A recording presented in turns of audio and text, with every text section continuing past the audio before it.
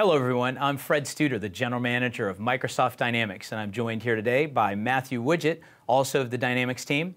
Uh, we're very excited today. You guys can't appreciate, we've got a lot of energy in our live studio audience because of an amazing guest we have here today.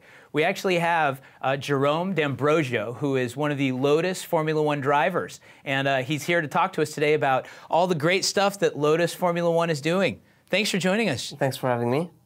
So, Jerome, F1, it's, it's a very uh, high flying, very popular sport globally.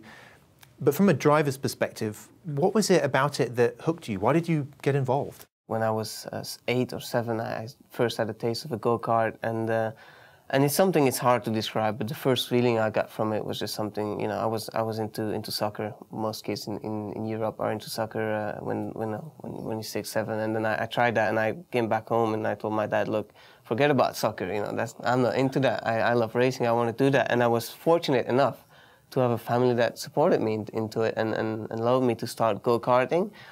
Could you tell us a bit about the first time you sat in an F1 car? It was an extraordinary feeling. It's something very special. You don't, you know, it's, it's the pinnacle of motorsport. You will not drive a car in, in the world that's as performing as, as an F1 car. On one side, it was just fantastic, and it was, I was just thrilled about the experience. It was just great. And, and then there's another side of me was just really pragmatically thinking, Jerome, you've, you've got to make somehow I've got to become a Formula One driver because it's just the best thing. There's there's nothing, there's no other cars that gives you that feeling. Maybe you can just tell people, you know, what you do for uh, Lotus Formula One. I'm uh, the third driver, so the test driver of the Lotus F1 team. When I'm at the track, I need to be ready to step in in case uh, anything happens to the to the two race drivers, and then my main role is really back in the factory, working with the engineers uh, on the simulator and, and everything.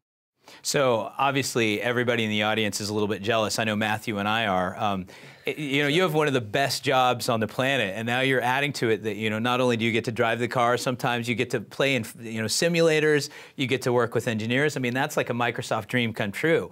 So uh, tell us a little bit about you know what goes into that role as, being one of the drivers there, and you know what what are your day-to-day responsibilities? Well, there's really I, I, I'd say that there's two phases in, in, in my in my job. There's uh, the phase when I'm at the track. I'd say that I work next to the engineers, but I still listen a lot, try to, to pick up things from, from Kimi and Romain, so the, the two race drivers, because obviously you can learn a lot. Uh, Lotus is a big, Lotus F1 team is a big team, one of the top teams out there. But then back at the factory, I've, I have a much more active role uh, in the simulator, do lots of work with the engineers on that, and uh, for myself to continue grow, to grow as a driver and also help them in, in the best possible way.